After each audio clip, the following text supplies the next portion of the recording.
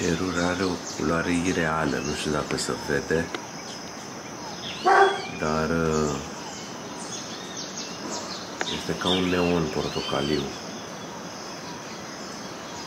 E genial.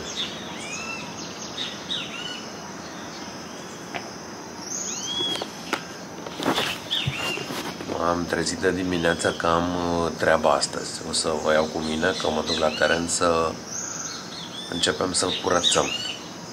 Ne întâlnim cu un uh, nene și să vedem ce iese. Șezi? Așteaptă.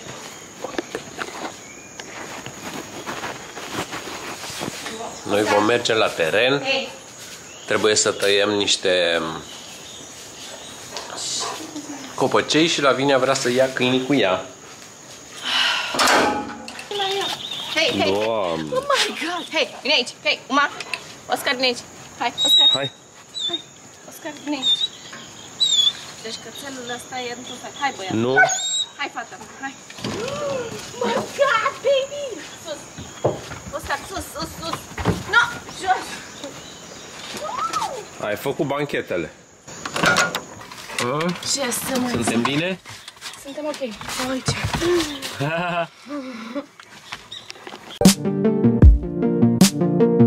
Try to catch it with my. Try to catch it with my.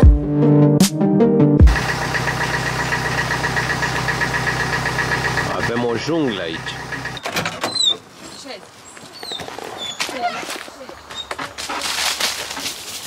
Wow! Am dat drumul la câini. Ce bine miroase. Miroase Trebuie să-l eliberăm un pic ca să dea soarele un pic pe el, pentru că sunt uh, aici niște copaci care ne cam incomodează.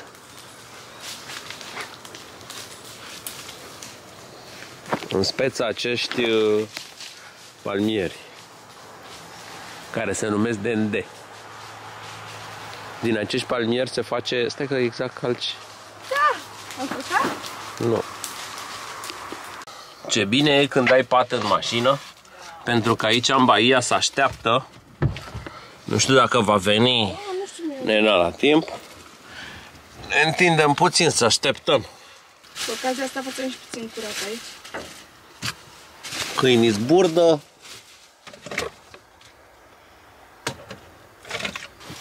Este ora 8 și jumătate.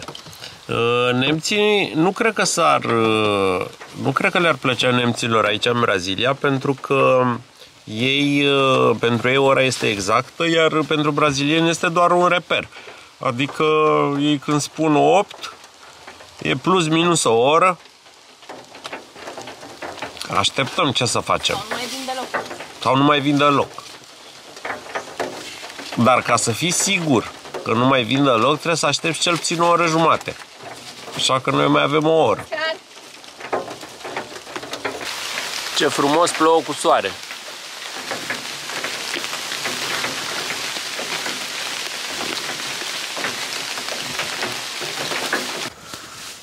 Uh, Tot îl așteptăm pe nenea ăsta, nu știu dacă va veni, dar uh, noi ne facem treaba și îl așteptăm. Între timp, mi-am adus aminte că un abonat m-a rugat să nu mai vadă această roată. Să o pun în altă parte. Cred că a avut dreptate și mm, acum că avem loc, că nu suntem plini de bagaje, o să o pun în uh, portbagaj. Nu? Deci roata a dispărut. Uh, Este ora 9 și jumătate. Noi am așteptat o oră și jumătate. Și acum ne vom îndrepta spre casă. Uh, Noi nu avem neapărat o problemă să așteptăm pentru că așa ne-am uh, format. Uh, Am făcut un pic curat, Lavinia a dereticit prin mașină. Foarte multe sticle de plastic, mame.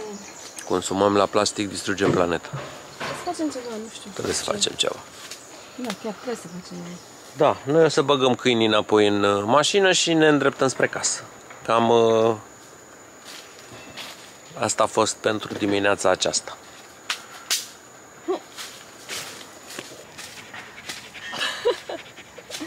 Haideți, mă, copiilor, haideți. Haideți. Hai, în mașină. Hai, hai în mașină, hai. Hai. E isso? Creio que sim. Não, passa a outra vez. Muito obrigado. Obrigada, tchau. Valeu, obrigada.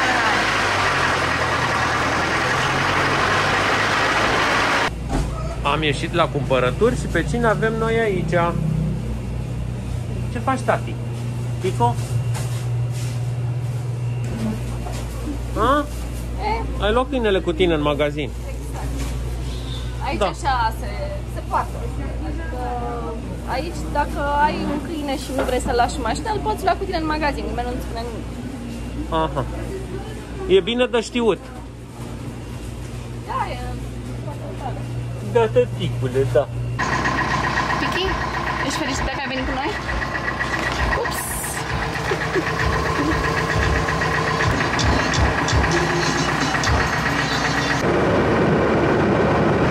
Unde mergem, Gabriel? Mergem până la teren să vedem, poate a venit omul ăla între timp și poate îl găsim acolo. Noi mai încercăm. N-a venit. Nu nimic, ne întoarcem acasă, că și așa avem cumpărăturile de, de lăsat. Și nimic.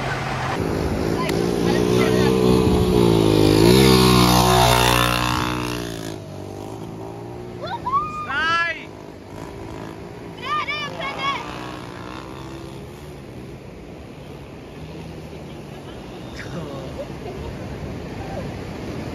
Haide!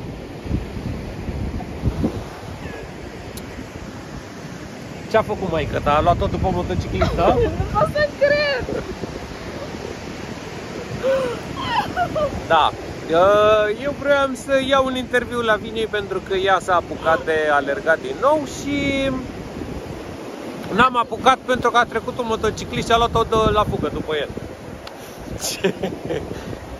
da, oprind la întoarcere. El s-a apucat de sport la Vinia pentru că noi doi vreau să ne apucăm de sport, numai că tot am lălăit-o. Și Lavinia a zis, gata, eu m-am apucat. Nu știu ce faci tu, dar eu m-am apucat. Și am lăsat-o să se apuce. O să mă apuc și eu, nu?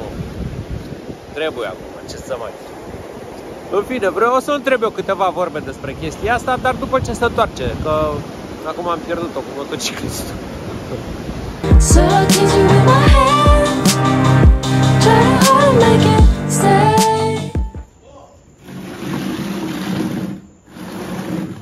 Avem uh, parte de o situație aici. Carla uh, s-a întâlnit cu iubitul ei pe plajă și este foarte supărată pentru că mama lui l-a băgat în carantină. Pentru că noi am fost în Salvador, mamei lui e frică de COVID și l-a băgat două săptămâni în carantină pe băiat. Și Carla este foarte supărată pentru că ăla e aici la două case și nu se pot vedea. S-au văzut acum fugitiv pe, pe plajă. Și uh, el săracul au stat așa un pic, uh, speria să uita și în stânga și în dreapta să nu-l vadă maica sa. Și a pus masca pe față și a plecat așa pe plajă săracul spre casă cu lacrimi în, în ochi. E- Mie, mi se par simpatici ăștia doi. Că, și vreau să întreb pe Carla că astea sunt niște memorii pentru noi care vor rămâne aici și sunt foarte frumoase, mie îmi plac, eu sunt înnebunit după situațiile astea pentru că o o văd pe Carla cum descoperă sentimentele, cum... uh, Și na, până ce trece ea și vreau să o întreb. uh, Da, totuși el are 17 ani, nu se pare că se comportă ca și cum are mai puțin. Nu că o Adică- ascultă pe mama Păi lui, da, ce dar vrei să nu- facă? Adică vrei să creezi o problemă din chestia asta? L-a băgat în carantină, nu uite că nu, o, o lume întreagă este în carantină și acum el ce vrei să facă săracul? Să fugă de acasă ca în filme? Că el poate crea o problemă, nu? El poate crea o problemă. Da, poate să devină filmele realitate. Normal că pot deveni filmele realitate. El în poate filme crea o... sunt mai, în filme lucrurile par mai interesante. Nu sunt așa, în realitate să știi că sunt exact așa cum sunt. Sunt... uh, Ei face ceva rău mamei lui? A? Mm, nu știu. Nu. Adică... Adică Nu i-aș face ceva rău. Rău. Rău. Adică nu rău fizic sau așa, dar ei pune pastă de dinți pe clanță. De ce faci asta? Ca De să te, unde ai când, scos? când pui mâna pe clanță, tu nu știi, Avea- era o glumă în, în România cel puțin, sau n-am, e o glumă internațională, când pui pasta de dinți pe clanță și ăla când vrea să deschidă să murdărește de pasta de dinți. Ai înțeles? Ce, ți se pare tâmpită? Da! Păi tocmai aia e, că e ca și cum imaginează tu vii acasă și când se deschizi ușa te umpli de pastă de dinți. Și nu zicea, pă... Hă? N-am auzit niciodată de așa ceva. E, există. Și faci asta. Ai face, nu? Ei Da. faci. E rău. Deci amândoi sunteți supărați, experiment, ei experimentează sentimentele acum și ce înseamnă să fie departe unul de altul și să fie constrânși și... Da, da, mi-a zis odată că mie nu-mi place să-mi placă de cineva. De ce? Da, pentru că mă gândesc tot timpul la el și nu-mi place. Păi dragostea e ca un drog. Așa se spune că dragostea e ca un drog și, Da, și nu e ok. și creează dependență și ci că nu e ok. Spune un copil de 15 ani că sentimentele astea nu sunt foarte ok, că de ce să ai fi dependent de anumite sentimente și că nu ai controlul lucrurilor, ți se întâmplă lucruri de astea care sunt nasoale și mai bine să nu simți nimic, nu? Da. Păi ce, tu ești Sau să piatră? nu fie așa, Tu ești sau piatră, să nu mă? fie așa, așa de mult, adică. Adică să nu fie atât de intense. Mhm. Păi odată ce experimentezi uh, sentimentele, nu vor mai fi atât de intense pentru că le vei cunoaște și vei ști cum să jonglezi cu ele. Și cum să nu, e, nu să le controlezi, că nu le vei putea controla niciodată, dar De exemplu, tu, tu nu te-ai văzut cu mami două luni. Cum a fost? Ce, tu ce simțeai? Păi eu am înțeles situația, că asta înseamnă să fii matur Da, și știu să că nu ai fii la înțeles. prima experiență Știu și că să... ai înțeles situația, dar Păi mi-era dor de ea, dar uh, asta era. Asta e.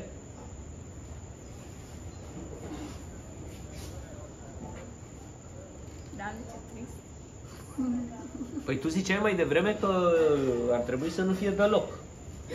Da, știu. Adică e mai mișto să fie, nu? Da. De aceea am ajuns la concluzie. E mai mișto să, să simți uh, fi arăl. Da, Da. tati, da. Da, tati, da. Și pe tine te iubim și noi te lăsăm să te vezi cu Oscar. Da. Încheiem... uh, Mhm. Da? Deci am încheiat uh, pastiluța noastră despre uh, cum uh, prietenul Cale i-a fost băgat în carantină de către mama lui. Uh, Revenim cu Lavinia după ce se întoarce din maraton.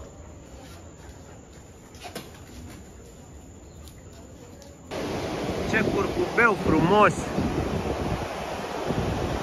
Este doar o bucată, dar este superbă.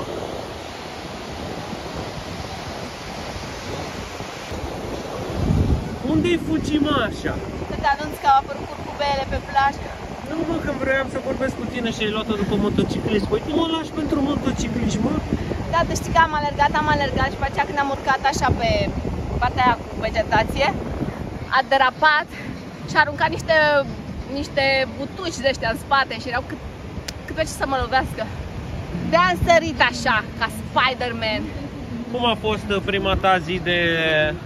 transpirată. Da? Te simți bine? Foarte bine, o să mai fac și mâine, o să mai alerg și mâine. Păi da. Da, după rodițio de ieri, am simțit nevoia să alerg un pic și este extraordinar. Mai ales că avem plaja asta superbă, trebuie să profităm de ea. Da. Să profităm. Da, e un cuvânt Urăsc urât. cuvântul ăsta. Hai să nu trebuie profităm, să ne bucurăm Să ne atunci. bucurăm, da. Să ne bucurăm de ea. Da.